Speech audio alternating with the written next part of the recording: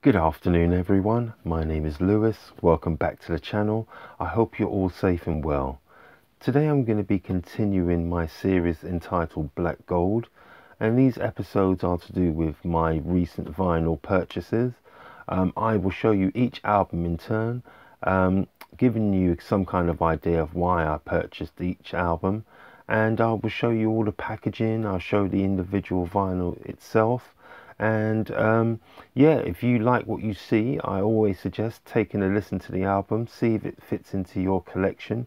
And if it does this is going to give you an opportunity to try and get in there before stock runs out pretty much. So um, first out of the gate is an album that I'd seen for ages and I kind of just ignored it um, and I always picked something else in front of it um, in terms of what I felt I wanted at that particular time. But I'm glad I've actually got my hands on it now. Um, what I've heard of it, it's absolutely superb. It's something different.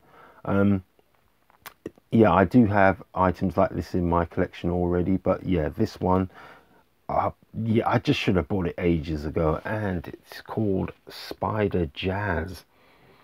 So this is library music which accompanied the animation series for a well-known Marvel superhero from back in the day. So yeah, this is kind of like the incidental music which would have been found in some of those animated episodes. Um, it's on the, let's have a look, I'm trying to see, it's on the Trunk record label and it was released in I think 2017 but obviously it, it dates from an earlier period. Um, what I've heard of this album I really really really enjoyed the sound of it.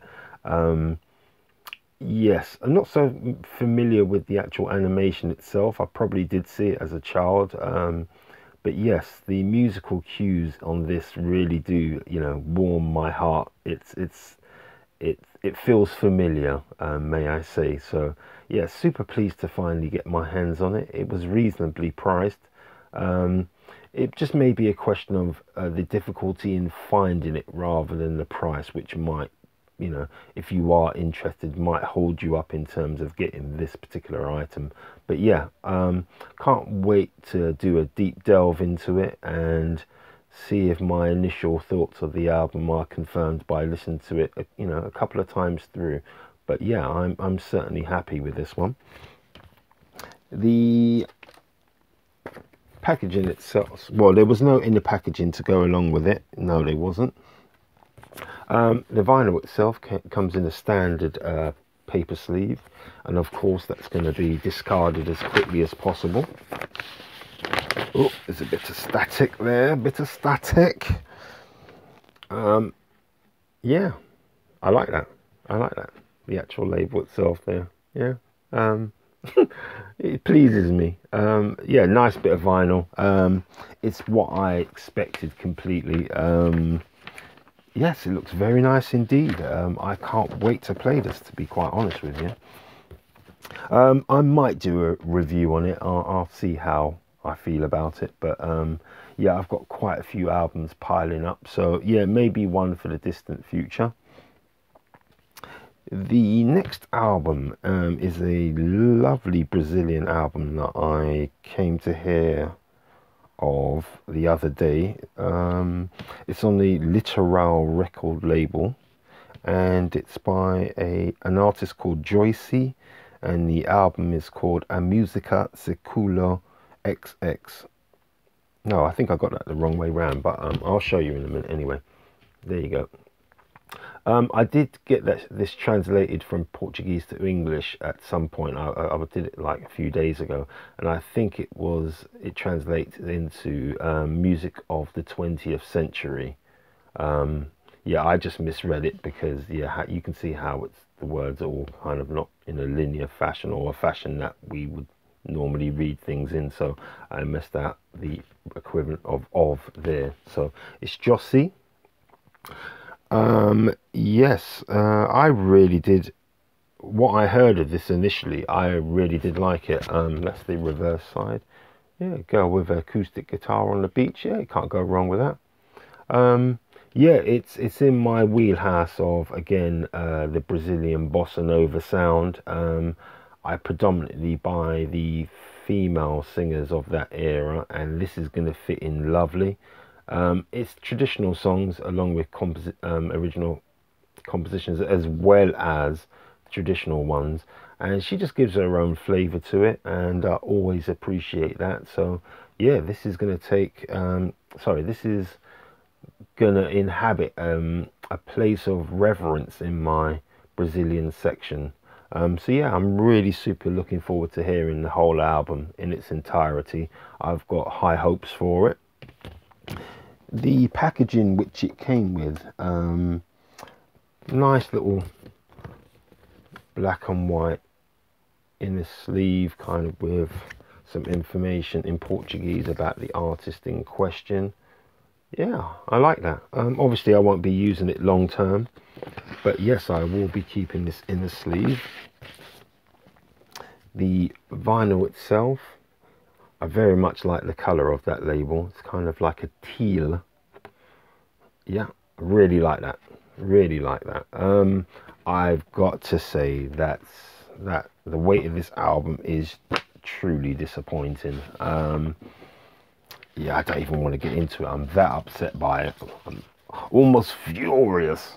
Um, yeah, but not quite. Um, yes, very much hoping that it's going to sound fantastic. Um, but yes, it's not the thickest of vinyl. Um, but it's one of those things where if I didn't purchase it, somebody else would have. And yeah, I would have missed out on it. And you know how it is with vinyl. You when you see things, uh, you tend to want to go after them. Yeah, if it's in your wheelhouse of, taste, obviously. Um, but yeah, disappointed by the weight of that. But what can you do? The next album is entitled uh, Oriental Jazz by Lloyd Miller, and it's the Lloyd Miller Trio. Let's see when this is dated from, if I can find it easily. No, I oh 1968, and this is a re-release on the 2000 in in 2019 on the Now and Again record label.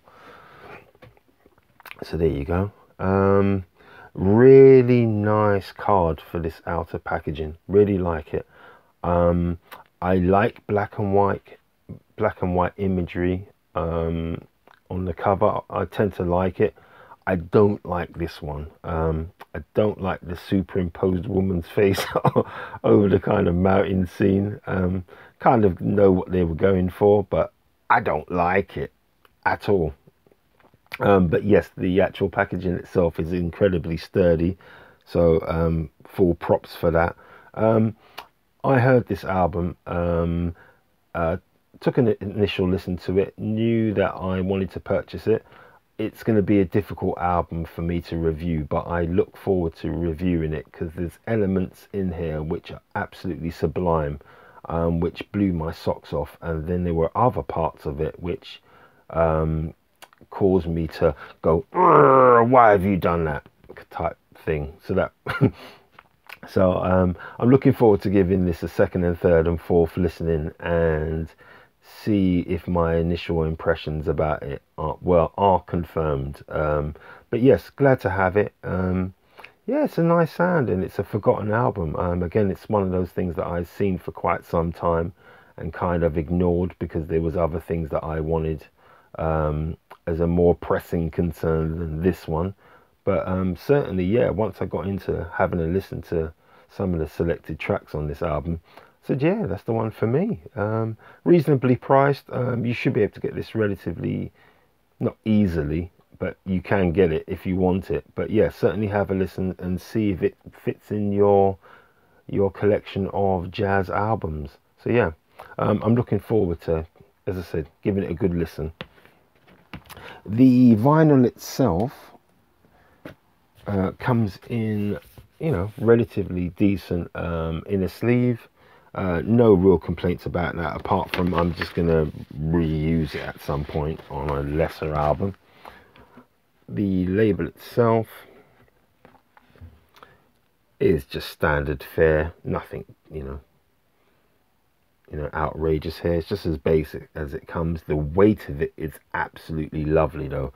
This is a fair chunk, so I'm really happy with that. That's that's that's put a smile on my face. Um, yes, I've I've had earlier disappointments with other vinyl, which wasn't as weighty as it should be, but this is certainly like it's given me an it's put the smile back on my face. So yeah, I'm really looking forward to listening to that one. Uh, the next album, let's have a look. Now what's going on here? Oh, there you go. Um, again, um, those who have been around the channel know my love for Brazilian music, and this one is no exception. This is by uh, Ana Mazzotti. Um, I hadn't heard heard of her previous to actually purchasing this album, but when I did hear it, it's like, oh yes, yes, this is going to fit in absolutely well. Let me just see if there's something in there. There is. There's a digital version code in here, and I think it's a self-titled album. Yes, it is. It's on Far Out Records, uh, and I can't see when it was originally released, but I'll find out if I do review it in the future. So there you go. I really like that album cover. She's just working the crowd there. The crowd love her presence. Um, what I had heard of this album, yeah, it, it, yeah, it, it certainly um, put an immediate smile on my face. I like the way she sings. She fits in with my um, bias towards female uh, bossa nova singers. Um, so yeah, I'm I'm super pumped about this one. Um, I'm just like, you know, I'm just being a bit chilled about it. But yeah, when I opened, when I knew this was on its way and I, it, fi it finally arrived, um, I was super happy about this one. So yeah, I look forward to giving it a good run through this album. I'm sure it's not going to disappoint. Um, the vinyl itself for it comes in the standard fair paper uh, inner sleeve it's a better paper inner sleeve than what you would normally encounter. I, I can't lie about that, but still it's disgraceful in that sense. Um, and you know what I mean. The label itself is pretty unimaginative. Nothing fancy there, but you know, I'm not too bothered about that. It's got uh, a decent weight to it. Um, yeah, I've, I've, I've, yeah, the whole packaging, the packaging plus the weight of the vinyl I've got no complaints here. Um, yeah, I'm really looking forward to that one. Yeah. I just did that face there because I'm I'm kind of excited. So yeah, I do apologise. The last uh, album for this episode is an album by a gentleman called Dick Griffin, and the album's entitled "Now Is the Time," and it's on the Trident record label. So yeah, have a look at that. I don't know what's going on there, but um, yeah, this is one of those curious albums where I'd seen uh, around again for some time, and just you know, when you have multiple options of things to buy, this you know you, you're gonna have to have a pecking order of importance, and this one kept sliding down the the, the ladder of importance, or not not ascending in any way. Um, which is really good because I managed to pick this up for like reasonable money. It was relatively cheap in the scheme of new vinyl at this moment in time. Um, what I had heard of it piqued my interest. Um, I think there's, uh, if I remember rightly off the top of my head, there was at least four really good killer tracks on here. So um, looking forward to giving it another listen. Um, coming to some solid conclusions about it, but this fits in perfectly with um, a lot of the material I have in my collection at this moment in time. The album is a 1979 initial release. Um, in terms of people who are featured on this album, um, I've never heard of Dick Griffin, so um, I'm, you know, I'm here to educate myself in terms of, you know, the less well-known artists out there, and I like to kind of advocate or champion for them. So I'm looking forward to hopefully um, this being the experience I think it's going to be, and probably having it as part of uh, an episode in the future. But yeah, what I heard of it, certainly did enjoy it. Found it for reasonable money. Um, have a listen to this album yourselves, see what you think. Um, if it fits in with your collection, I suggest trying to get it before there is no more copies left. But certainly, I got mine for, you know, in the scheme of things, cheapest chips. So I was really pleased with that.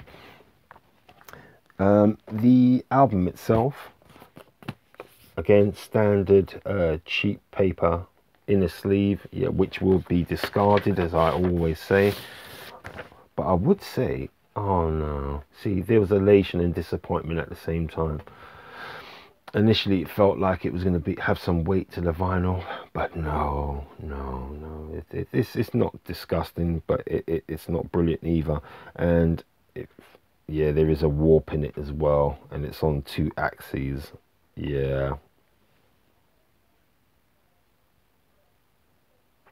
Now, if you're one of those people who take vinyl back, um, I can kind of understand your frustration and why you do that, and perhaps I should do that even more. Um, I just, you know, I think of it as the luck of the draw kind of thing, you know. Um, most, you know, 90 odd percent of the time, my vinyl is lovely. It's as flat as I could hope for and be, you know, realistic about. It is vinyl after all. But um, yeah, every now and again you get one what's warped onto axes. So what may happen is, oh, first of all, I'll show you the, the, the label. Yeah, it's quite nice. Yeah, yeah. Um, what? Yeah, going back to my thought about Warped Records, um, I am hoping that while this album is on the shelves, you know, sandwiched in between loads of other albums, it might flatten itself out eventually, or it's a case of like, yeah, in terms of the price of the album, I'm not going to complain too much, and um, I'm fortunate enough to have, well, at this moment, three turntables. So um, I kind of will see which I, I, probably won't put it on my top end turntable because I think it's gonna that's a little too sensitive for it. It will jump about too much. I don't want to damage the stylus. I, you know, I'd rather get rid of the the album rather than damage my stylus. But on my kind of like mid tier and my budget one, um, I'll try it out on that first. Um, but certainly, yeah, it needs to be flattened out. So yeah, I'm, I'm pretty sad about that. Um, but that's the elation and the despair which comes with uh, vinyl purchasing. Um, it's it's a bit of a, you know, it's it's a, it's a game of chance sometimes, as you well know. So um, that was the last album for today. Um, thank you so much for listening to my um, yeah my ramblings. That's the best way to describe it. Um, as you can see, there there was some elation and there was some despair there, and that's what comes with the hobby. Um, so yeah, um, I hope you enjoyed it anyway. if you did enjoy the content, uh, please don't forget to like, subscribe, share, and comment down below um, perhaps telling me about your experiences with um, buying vinyl and then being, you know, warped. Um, yeah, it, would be nice to hear other people's horror stories. Um, so until the next episode, um, please look after yourselves. Um, stay safe. I will see you for the next episode once I've get gotten over my heartbreak of that last final. there. It's, it's still irritating me. I'm going to give it yeah, dagger eyes. Um, yeah, take care of yourselves, everyone. Bye bye.